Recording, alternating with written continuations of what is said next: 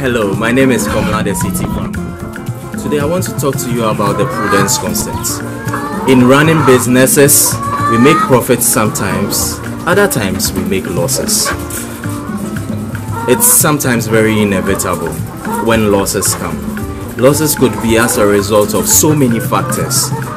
Now, the prudence concept means taking caution when making judgments in conditions of uncertainty. What does this mean? This means that in situations where you are not certain of the outcome, it is very prudent for you to take caution rather than always anticipating profits in conditions of uncertainty.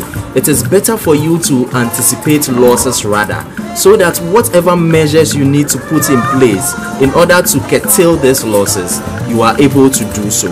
Let me give you an example instead of making projections for reduction in feed prices in the future it is better for you to make projections for increase in the price of feed instead of making projections for a reduction in the prices of things or the materials that you will need to run your business rather make projections for increase in prices in the future. So that when you get into the future and you have already made your allocations but the prices are reduced, inflation is reduced, and all other environmental conditions necessary for your business is favorable, then you are at a gain rather than at a loss.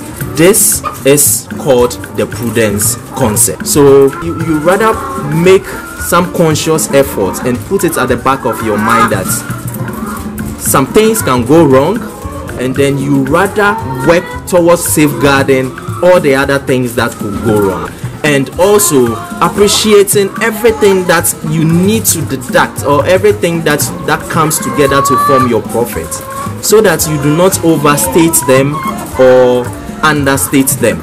Especially for the liabilities and expenses it's very important because you need to put together everything that comes together to form your expenses as a business person other than that you may be stating your profit. Meanwhile there are a lot of expenses that you have not deducted.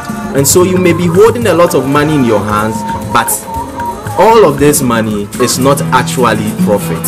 There are bits and pieces of expenses that you have still not deducted. So it is very important to appreciate the full value of your liabilities and expenses so that you can make a full appreciation so that you can get a full appreciation of, of all these then you can be able to get your full value of profits that you are making in the business or whatever business you find yourself. Guess what? The world is too complex to allow 100% of your effort to lead to 100% of your outcome. It's it's it's never possible that you put in 100% you get 100% out of it. No, you may do everything right but in the middle you may have some outbreak of diseases that would kill about maybe 2% of your bets but you did everything right.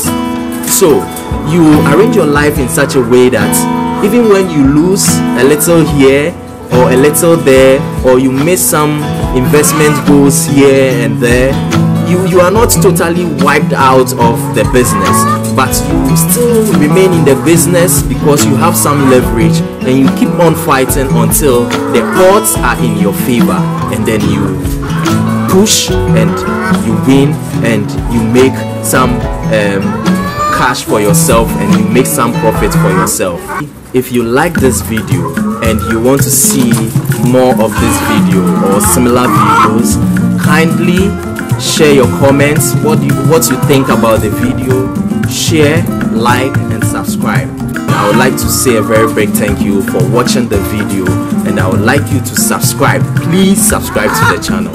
Subscribe and watch and share and comment. And i mean till we meet again.